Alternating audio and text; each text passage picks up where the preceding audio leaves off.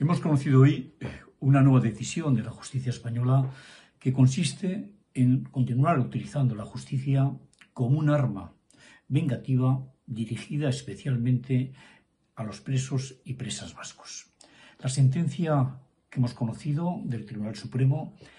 que se ha adoptado por tres votos eh, contra dos, es consecuencia que deriva de la Ley 7-2003 y que se aprobó para que los eh, recursos del fiscal tuvieran efectos suspensivos inmediatos en la libertad de un preso o presa y de esta forma eh, eh, persigue o ha perseguido paralizar su puesta en libertad sin entrar a valorar las razones por las que las juntas de tratamiento de los centros penitenciarios ha tomado la decisión de conceder la semilibertad o la libertad condicional de estos presos, en muchos casos tras décadas y décadas de privación de libertad. Llevamos años, desde la ley la SARE y también desde otras instancias, exigiendo la derogación de esta ley especial y aprobada ad hoc exclusivamente para los presos y presas vascos. Una vez más, por tanto,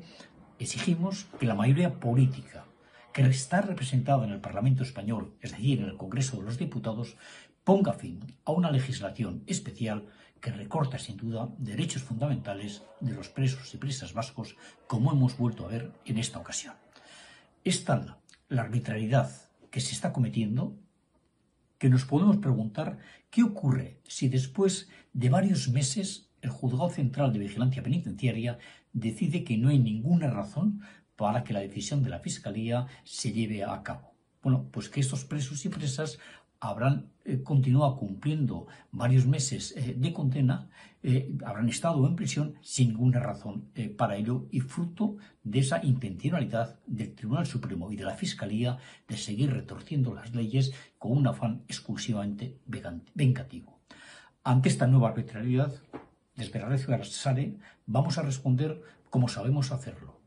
democráticamente. Nuestra cita el 7 de enero en Bilbo servirá para denunciar actitudes que nada tienen que ver con un tiempo nuevo que es el que deseamos construir la mayoría social de Euskal Herria.